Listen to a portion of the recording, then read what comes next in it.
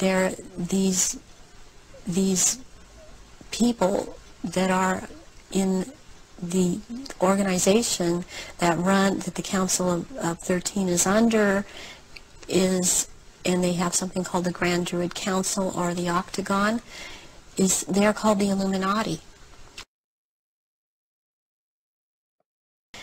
Is and they have something called the Grand Druid Council or the Octagon is and they have something called the Grand Druid Council or the Octagon. And there these these people that are in the organization that run that the Council of, of 13 is under is and they have something called the Grand Druid Council or the Octagon is they're called the Illuminati. And the Illuminati are actually run by these 13 bloodlines, which are all of the royal families in in Europe and, and uh, in England. And um, they um, need the blood because they are, in fact, not human. They take human shape. They are reptilians. A few weeks ago, someone sent me the David Icke interview with Arizona Wilder from 1998. And as I don't have a place where I can work, I watched it in a corner of a McDonald's. And what really struck me was that at 12 minutes and 50 seconds, she talks about the Octagon organization by the enemy within the aristocracy. As I've shown here in my video, Octagon, the Empire of Darkness. And in 1998, nobody knew about the Octagon secret military order of the Knights Templars, except the initiated ones. So this means to me that Arizona Wilder must have gone truly through the initiation process and all the rituals going with that. I mean, this is 22 years ago and way time before YouTube, which started only six years later in 2004. In those days, we only had the lamestream media. And even before the wake-up call of 9-11 and the complete lie concerning building number 7, and as they lied about building number 7, everything the lamestream tells us is a lie like this so-called virus authority nightmare we're in. Anyway, the ones who rule us are cold, ruthless and heartless, and hardly to be described as human. And I filmed reptilian statues all over, as this one here on a sacrificial ritual site in an ancient Templar commandery, where I had a narrow escape with death so one thing is positively certain, that Arizona Wilder truly is an initiate because otherwise she wouldn't have known about the Octagon organization as early as 1998 and still 20th century. And even now, while writing down the script or textbook, I just realized right now that the logo of the notebook I just grabbed here is showing the concept of 3 for the circle, the concept of 4 for the square behind, meaning square and compass for the initiated, which I explain in my video series The Swiss Beast, Home of the Devil, in three parts. So from left to right, the logo shows the circle for the compass and a square who are chronologically all coming from Pharaoh and therefore the pyramid to the right. Also the square and compass are the tools to draw a pyramid. With the 90, 90 degrees square, one can draw a square and base of a pyramid.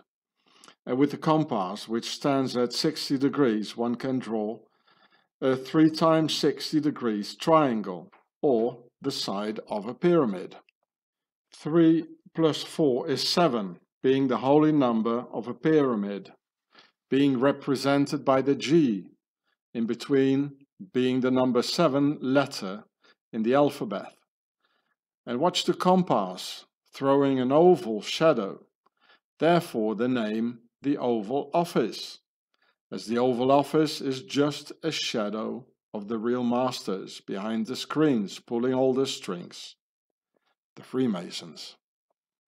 So where's that company from? Oh yes, they're from Swaziland, of course. Yeah, it says CH, Confederatia Helvetica, Winterthur, Baden, Dettwil. Look at this logo here underneath the paper. You see there's seven gates in it. Seven gates of hell probably, eh, Swissy? And this is the concept of three and the concept of four all together. That makes seven. It's another way of like making the G in between the square and compass. Eh? And even the paper is by Swissy. They even put a stamp on it everywhere. Quality, quality. It says Schweizer Qualität seit 1906. In, in three languages here. Swiss quality. Yes. So here you can see the oval in between the rings, the Oval Office. Right? So the oval comes out of the Vesica piscis, like in the logos of Audi, MasterCard, Gucci, etc., which is a chain of command, meaning one for all and all for one, which is a Knights Templar saying, as in the Latin, unus pro omnibus, omnes pro uno, standing at the ceiling of the Swiss parliament, the first New World Order democracy in the entire world from 1291. It means they are highly organized and you're standing alone, dummy.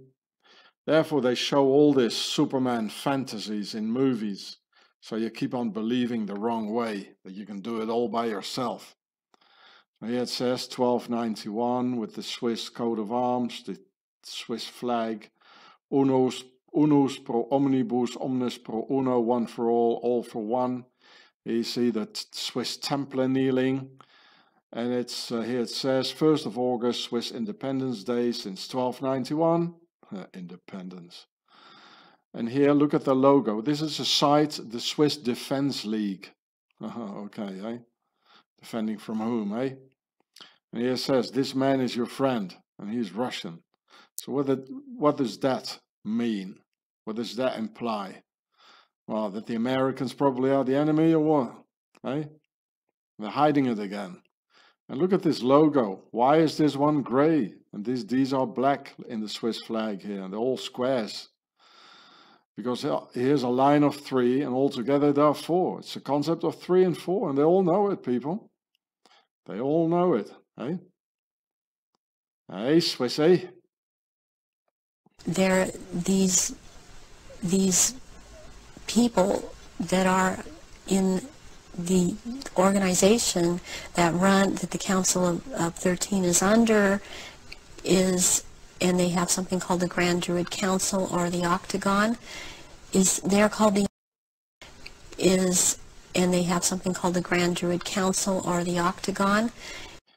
So, seeing the concept of three and four, even on the very paper I just found to write this all down, so I'll finish this short video with the Freemason footprint, or rather knee print, of their concept of 4 and 3, square and compass in the murder of George Floyd with three cops sitting on him and the fourth supervising the kill. In the murder of Lady Diana with four people in the car and three died. It's the concept of 3 and 4. And you all see the oval where she is buried meaning she was killed by an organization, as in one for all and all for one, meaning the Swiss octagon did the kill, thus coming back where we started, with Arizona Wilder and Octagon, just a few months after the murder of Diana. Called the Grand Druid Council or the Octagon. And in Switzerland, the horrific satanic ritual by Thomas Nick in Rupperswil on winter solstice 2015, ritually butchering three children and one adult. So four people in total concept of three and four all over it. I had an important video about that on my deleted channel Gure, which is now gone forever. and they have something called the Grand Druid Council or the Octagon.